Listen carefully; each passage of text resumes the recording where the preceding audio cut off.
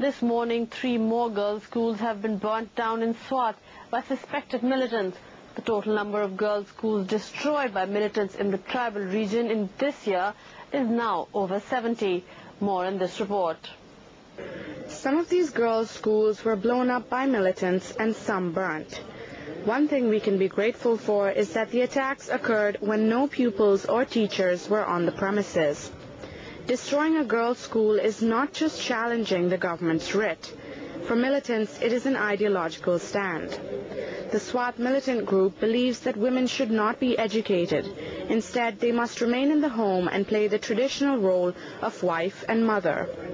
While they fight to implement their version of Sharia law, the government is trying to implement an education system in the tribal areas which will benefit both girls and boys.